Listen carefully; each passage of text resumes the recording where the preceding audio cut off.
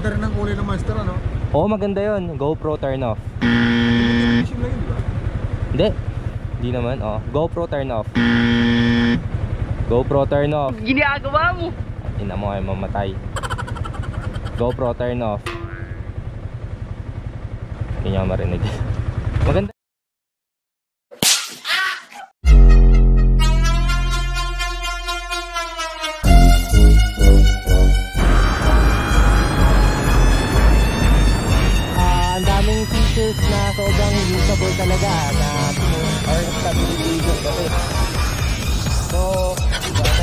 Na-stabilize siya.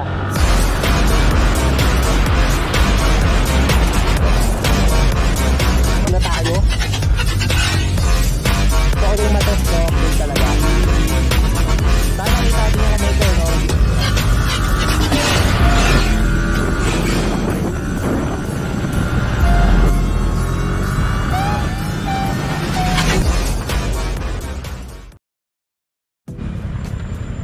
So, yun na nga, ano?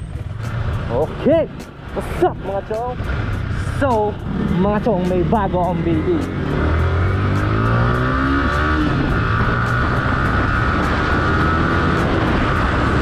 Bago tayong camera, mga chong.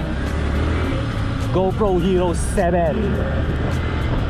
So, ito na rin yung actual test ko sa kanya, no? Para masubukan natin yung kanyang mga features. Napakaganda talaga nito. Sobrang worth it mag-upgrade dito, mga chong. Saka, ang daming features na sobrang usable talaga na pwede natin gamitin for everyday use. Like yung kanyang voice control. Which is okay kasi, di ba, hindi mo na siya kailangang um, hawakan, patayin mo at maya. So, i-command mo lang siya, i-command mo lang siya na mag-stop recording, ganun. Mag-start ng recording, mag-turn off, mag-turn on. GoPro turn off. GoPro turn on. GoPro turn on. Oh! GoPro take picture. GoPro take picture. GoPro start recording. GoPro stop recording. Wow! GoPro burst shot.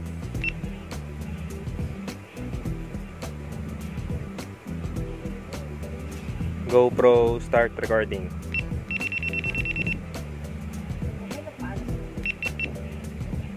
GoPro start recording. GoPro stop recording. GoPro stop recording. GoPro turn off. Yung napakaganda, niya- napakaganda sa kanya sa So yun na, meron na siyang hyper smooth which is talagang kailangan sa pagmumotovlog yung hyper smooth or stabilization kasi di ba most of the time di ba matagtag yung lugar so diba, nai-stabilize siya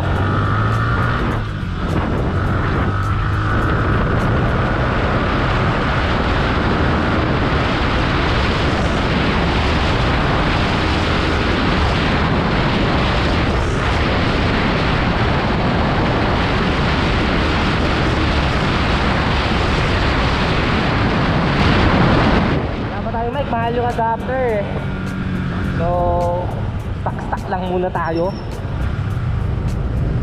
So, ako yung matest no, yung wind noise niya kung gaano siya kung gaano kalakas yung wind noise. Sa meron alam ko meron na tong wind noise reduction eh. Achievement unlocked. Nakikita nyo ba yung straight na yan? Babakbakin natin yan.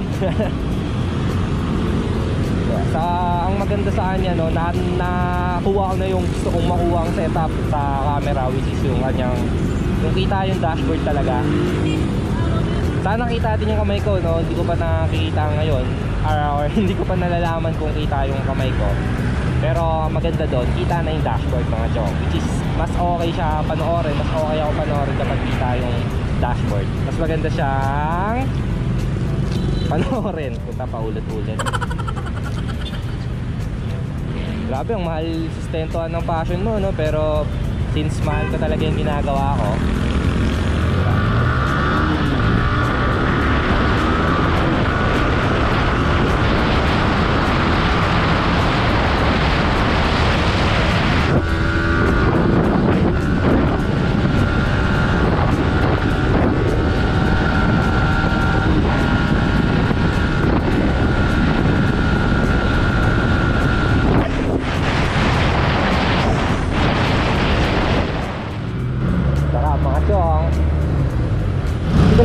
ipaglabang yung aking bagong baby mga to, no? So kasi talagang mapaganda pa yung quality ng moto vlogging ko, no? Kasi okay na eh. Okay na yung content eh. Video quality na lang ang kulang. Sa yun nga, kasi minsan may mga times na hindi ko rin natatansya yung field of view. Minsan hindi na wala na, wala nang kita sa motor ko. Which is ang pangit nung kakalabasan ng video ko kapag ganun yung nangyari. Oo, snap snap. Yan o. So dumadaan ako ngayon sa, sa mga malubak ko. Yan. Tatest natin yung hyper niya.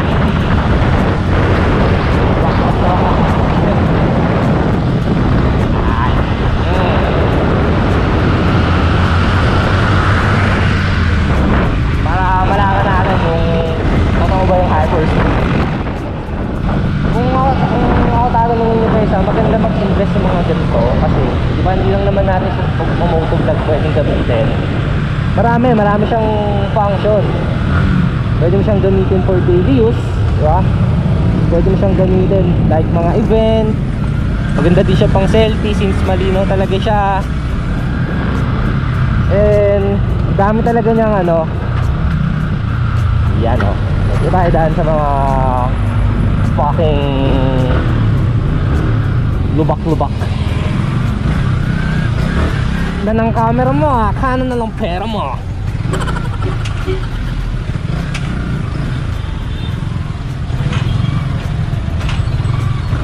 Wala malubak dito eh. Dito tayo, dito tayo, dito tayo. Yan. Ano? Oh. Ha? Oh. Okay, sirain natin yung motor natin.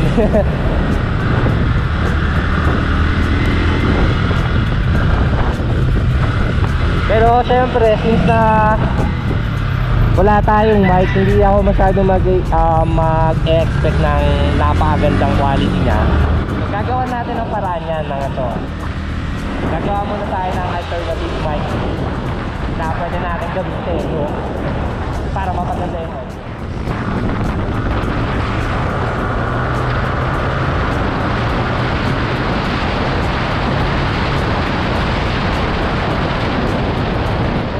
Magsasalita kapag medyo mabilis tayo kasi alam mo talaga na makati makati yung windows. Ah, ma mga ganito lang, mga takbong pogi lang no. Sinasadya ko mga tiyong dumaan sa mga malulubak na lugar. Putang ina, lubak! Para masubukan natin yung hypersport.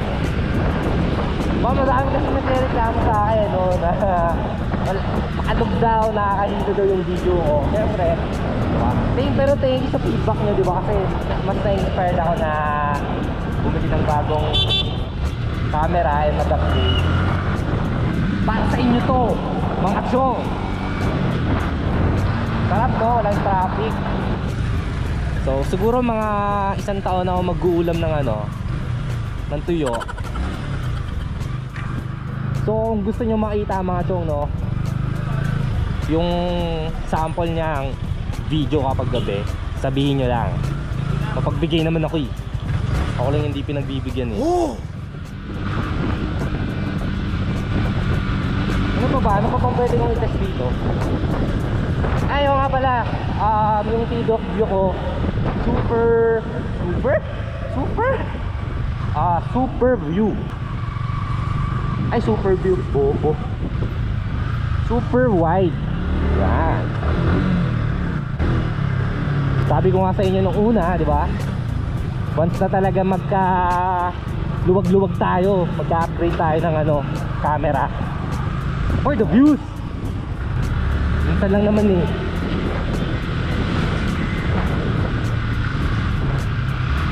Uy, nako. Nice! Nakita nyo ba yon mga chong? Ligo muna bago lingon. My, my goodness! Kitang kita mga chong, ligon muna. Ay, muna. Ligo muna bago lingon. Buti na lang, nakatingin ako sa kanya talaga sa malayo pa lang. Ay! Sana naman maganda yung audio ko kahit pa paano, no?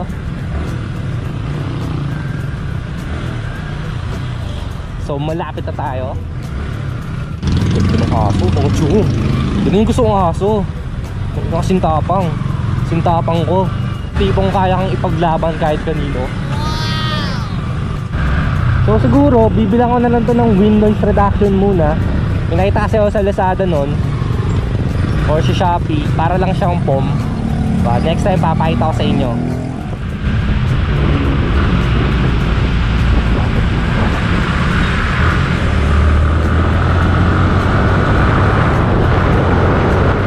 Nandito na tayo mga chong sa aking munting paraiso. So yun, dito na natin muna tatapusin ng ating vlog for today. Maraming salamat sa panonood. And yun na mga chong no, kung di pa kayo nakasubscribe sa aking channel, di ba? Huwag nyo kalimutang mag-subscribe. At click na rin yung notification bell. Like na rin, ah, tapos share, di ba? Para happy. So yun lang mga chong, ah, always remember, no? Drive safe, steady lang. Boom! Peace yun. GoPro turn off. GoPro turn off. GoPro turn off. GoPro turn off. GoPro turn off. GoPro turn off. GoPro turn off. GoPro turn off. GoPro stop recording.